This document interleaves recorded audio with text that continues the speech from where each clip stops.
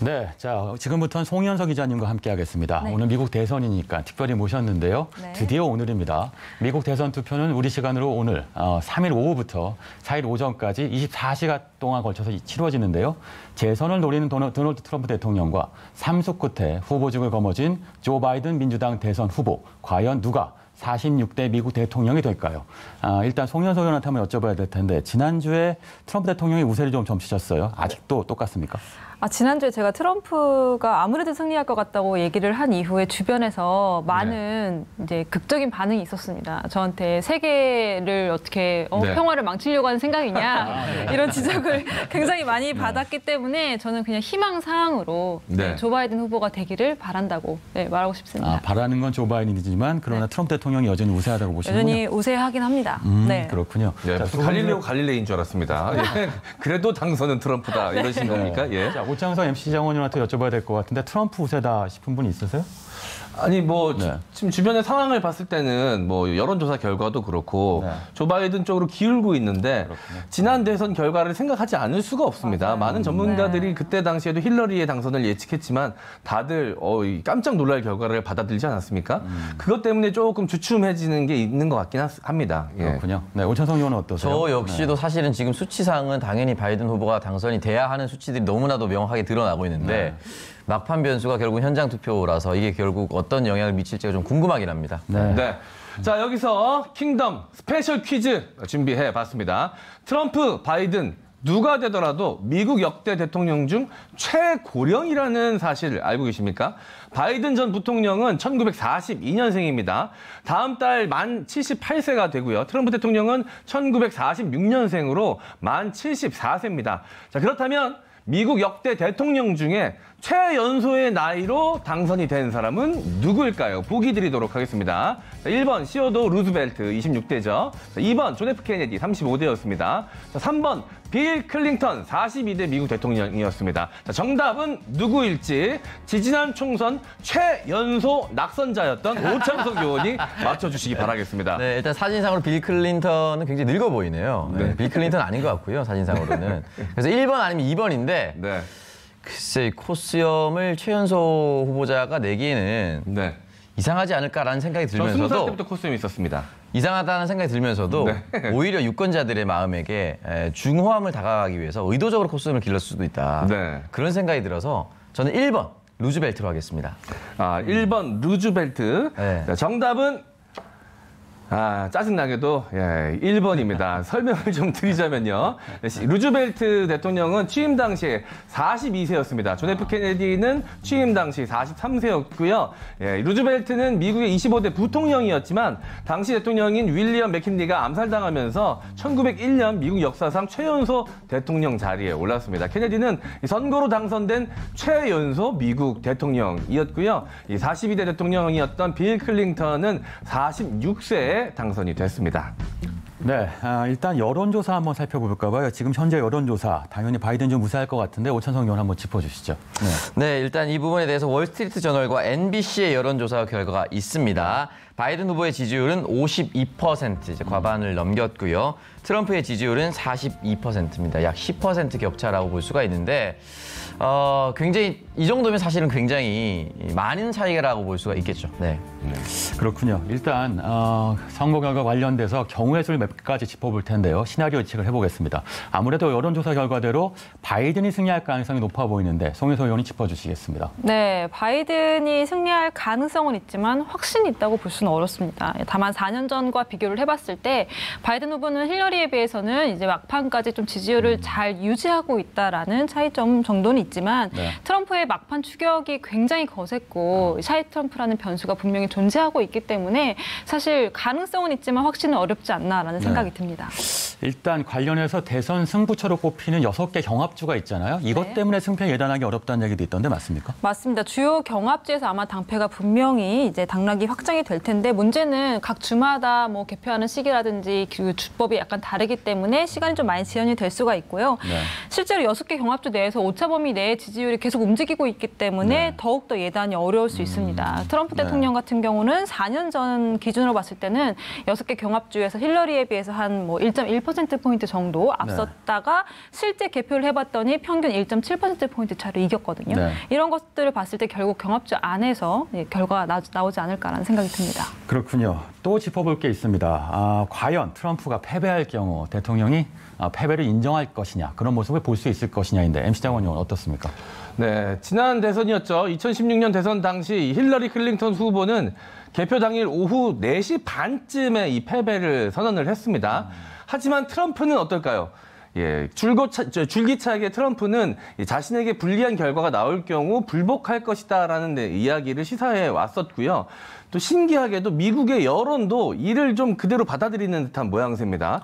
아, 받아들이지 않을 것, 불복할 것이 지금 거의 예, 그런 거 예상이 되고 있고요. 제가 또 매일 아침마다 또 어, 전날 미국 현지 일간지들을 또 이게 매 읽어보지 않습니까? 또 이 영문과다 보니까 예, 따끈따끈한 미국의 일간, 뭐 뉴욕 타임스나 뭐 아, 그다음에 생각이 안 나네요. LA 타임즈 같은. 우리나라에 배송이 되는군요. 아, 예. 아, 인터넷판으로 봅니다. 아, 예. 예, 예. 그래서 제가 이제 바로 본, 직역을 해서 보는데 거기 보니까 이런 내용들이 있더라고요. 이 뉴욕의 그 중심가에 있는 고층 빌딩이나 네. 아, 비버리 힐즈의 상점가 1층에 있는 상점들 쇼윈도에 이 가림막을 설치하고 있다라고 합니다. 그래서 그 이유가 뭔가 봤더니 물론 영어로 돼 있었죠.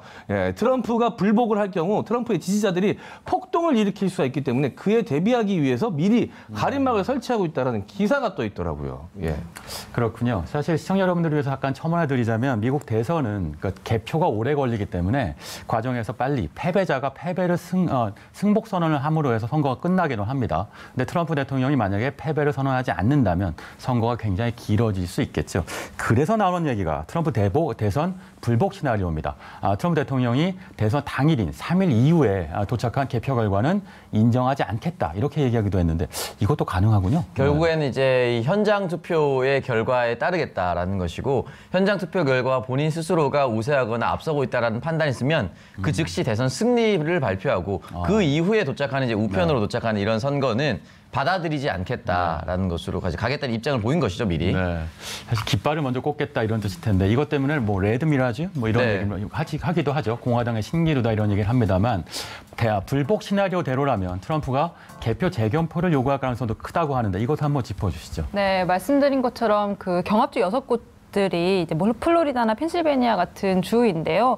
여기 핵심 경합주의 개표 결과를 열어봤을 때 바이든 후보가 만약에 근소한 차이로 트럼프를 이긴다 라고 한다면 트럼프는 분명히 불복 선언을 하고 네. 재검표를 요청할 겁니다. 그런데 이 문제는 이번 선거의 최대 변수가 우편 투표였잖아요. 네. 이 우편 투표에 대해서 시비를 분명히 걸 것이고 실제로 뭐 이 우편 투표 관련해서 사건 사고가 계속 이어져 오긴 했습니다. 뭐 인쇄 용지가 잘못 인쇄가 되거나 네. 뭐 불타거나 이런 일들이 분명히 있었기 때문에 트럼프의 우편 투표는 사기다라는 부분에 있어서의 문제 가능 제기를 가능 문제 제기를 할 가능성은 분명히 있어 보입니다. 네, 관련돼서 재검 표의 기한이 정해져 있죠. 그 기한은 언제까지입니까? 언제까지 정해져 있죠? 네. 이게 12월 14일 이전에 사실 재검표가 모두 끝나야 합니다. 네. 그래서 선거인 개수법에 따라서 이 이전까지 개표를 다 재검표를 마쳐야 하는데 문제는 말씀드린 것처럼 사전 투표에 참가한 이 유권자 수가 9천만 명이 넘어선 상황입니다. 네. 이것들을 다 한 달 안에 재검표를 못 하게 되면 선거인 개수법은 그날 당일 개표 결과 그러니까 그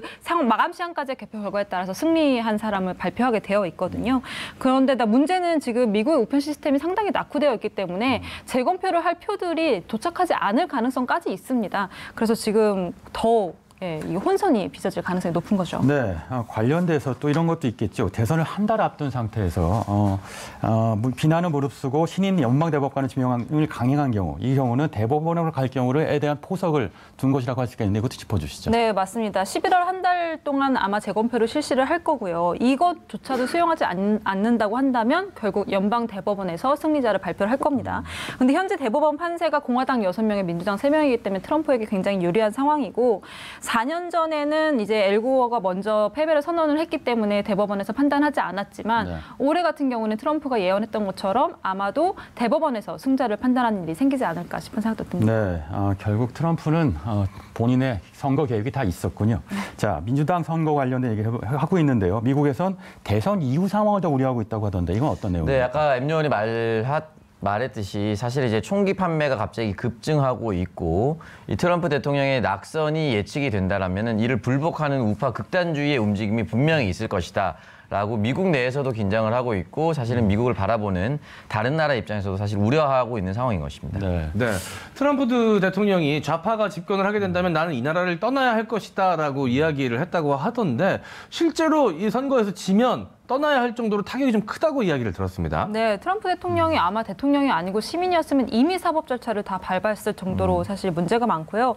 그동안 본인 특권으로 뭐 세금 탈루라든지 이런 부분들이 분명히 있었고 뭐 여성과 관련된 성폭행 문제 들이 불거져 있었는 상황이었는데 이것들을 대통령직을 이용해서 좀 봉쇄하거나 묵인하거나 뭐 이런 걸 조금 지연시켜 왔다는 혐의 등도 이미 포함이 되어 있기 때문에 뭐 단순히 그냥 뭐 그냥 떠나야 된다는 말은 아닐 수도 있습니다. 네, 그렇군요. 자, 거의 얘기는 안 하고 있는데 트럼프 대통령의 승리를 예측할 수 있는 시나리오도 있겠다 싶은데 트럼프가 승리하려면 어떤 시나리오가 필요할까요? 일단 역시 주요 경합주 승리겠죠. 지금 이제 계속 뭐 박빙으로 나온다. 근데 사실은 지지율 보면 굉장히 큰 격차인데 선거인단 제도로 해서 선거인단만 확보하면 그 지역에 있는 주 몰표를 가져올 수가 있기 때문에 이 경합주에서 일단 선거인단 확보 이것이 가장 중요하다라고 볼 수가 있겠고요.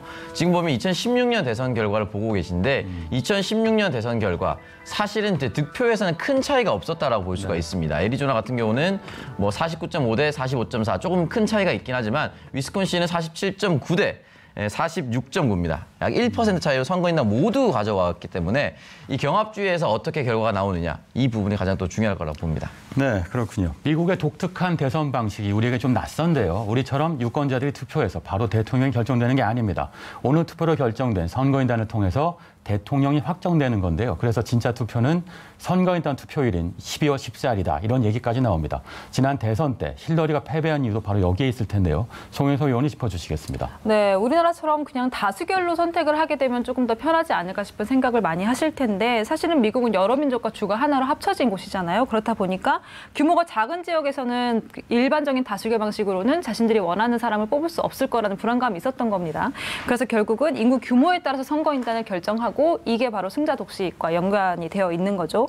그렇기 때문에 득표율이 따로 승자가 따로 있는 승자 독식의 방식이 있고 힐러리가 이 방식 때문에 지난 대선 때 패배를 한 겁니다. 올해는 아무래도 선거인단 투표가 12월 14일에 있다 보니까 이게 확정의 의미가 있다고 볼 수 있습니다. 그렇군요. 자, 어, 오늘 트럼프냐 바이든이냐 미 대선 예상 시나리오를 주제로 얘기 나눠봤습니다. 오늘의 킹덤으로 이렇게 제시해 봅니다. 현대 민주주의 역사를 이끌어온 미국식 민주주의의 미덕 이번에도 발휘될까? 여러분도 한 번쯤 생각해보는 시간을 가졌으면 합니다. 자, 송현서 오창석 의원과는 여기서 인사드리겠습니다. 두 분 수고하셨습니다.